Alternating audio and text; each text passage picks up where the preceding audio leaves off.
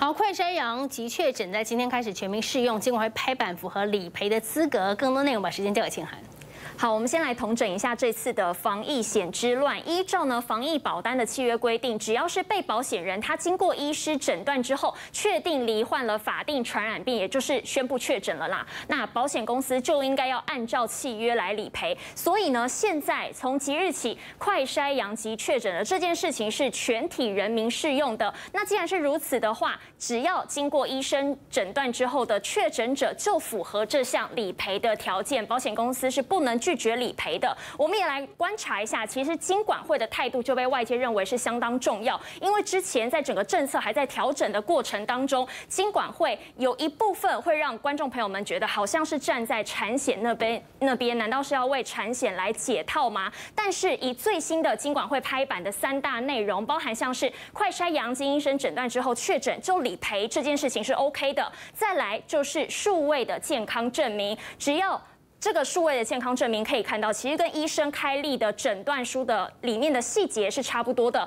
包含有你什么时候裁剪的，还有你是裁剪什么样子的病原体，以及裁剪的类型、结果等等，都跟医生开立的诊断证明书内容是一样的。再来第三点就是在于这个接触者隔离的数位证明，因为现在卫福部已经开放民众可以下载数位接触者的隔离证明，其实拿到这份跟地方政府他们开的隔离书。是一样的，所以这个部分接下来如果有符合的民众，都可以拿来去申请，只是。之前有家长在反映说，因为小朋友被列为是接触者，所以家长必须要请假来陪小朋友在家里面隔离。这个部分陪同居隔到底是赔还是不赔呢？因为其实之前经管会有两度表示，因为陪同家长等于说是没有接触到确诊者的，所以不理赔。但现在政策转弯了，也就是我们可以观察到，小孩子是因为同学确诊，而他属于接触者的话，就必须要在家。里面隔离，那家长因为法定有规定。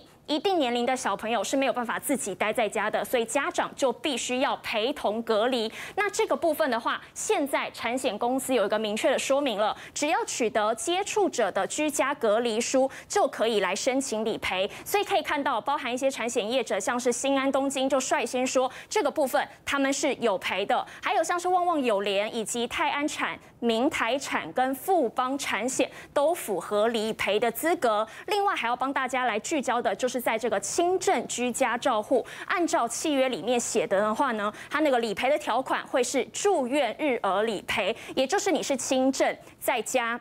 那现在到底能不能赔呢？按照这个条款内容，只要是有医疗行为或者是医生处方用药的话，就符合理赔的资格。但是大家现在很好奇了，因为清冠一号是有纳入这个理赔的项目里面，可是呢，现在很多的清冠一号是缺货的。那为了缓解民众的不舒服，其实很多的医生开的是类清冠，这个类清冠它的。界定就比较模糊一点，有一些之前是没有办法理赔的，所以现在在滚动式的调整当中，那部分的业者他们也表示都会从宽来认定这个什么叫做医生的用药处方。那现在也要特别提醒大家，未来因为财委会有通过了临时提案，尽管会有要求金融评议中心要在六月底以前同整并且公开防疫保单的客诉案件，哪一家产险是客诉王之后都会公布出来。现在也希望赶快让这个防疫保单的争议能够尽速的落幕。以上就是这节的财经资讯。